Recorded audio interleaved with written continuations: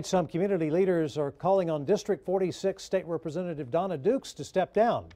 A protest was led tonight by a man looking to run against Dukes in the next election. The protest is taking place at Butterfly Bar and Vortex Theater on Manor Road. It all comes after Dukes was named one of the 10 worst legislators by Texas Monthly. Tonight's rally was a call for Dukes to step down ahead of the special election, which is coming up on July 18th. We reached out to her office about tonight's protest. They say voters will decide who their state representative is. And they went on to say that Dukes helped draft the budget and will play a crucial role in the special election.